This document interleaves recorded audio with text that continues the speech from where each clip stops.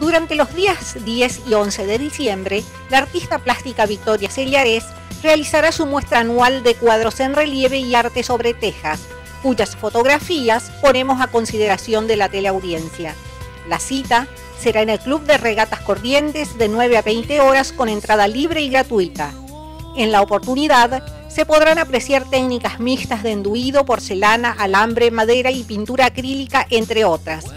Cabe consignar que el artista se propone sorprender al espectador en una original muestra en la que abundan colores y variedad de formas y técnicas. Agradecemos la invitación.